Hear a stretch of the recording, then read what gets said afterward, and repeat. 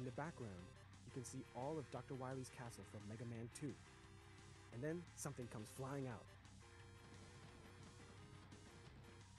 It's the Yellow Devil.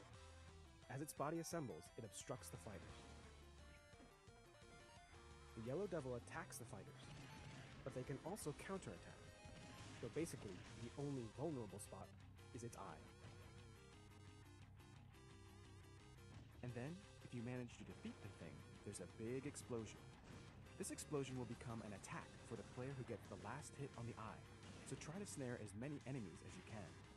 In multiplayer, it becomes a competition to see who can take down the Yellow Devil. Do you go directly for damage? Do you try to steal the final strike? Or do you perhaps target the fighters who have targeted the Yellow Devil? There are plenty of possible strategies.